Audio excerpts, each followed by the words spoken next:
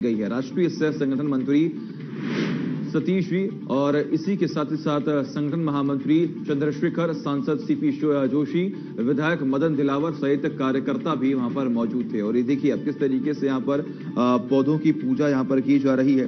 प्रकृति वंदना कार्यक्रम का आयोजन यहाँ पर लगातार किया गया था।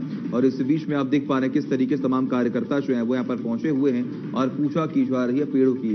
संगठन महामंत्री चंद्रशेखर, सांसद सीपी जोशी भी यहाँ पर पहुँचे हुए थे और सभी लोगों ने मिलकर एकजुटता दिखाकर यहाँ पर पेड़ों की और पौधों की पूजा जो है वो की है। तो लगातार तस्वीरें भी हम आपको दिखा रहे हैं। बीजेपी कार्यालय की आप देख पा रहे हैं किस तरीके से बीजेपी मुख्यालय पर ही पूरा कार्यक्रम जो है वो हुआ है और मुख्यालय में पेड़ पौधों की पूजा यहाँ पर की गई है।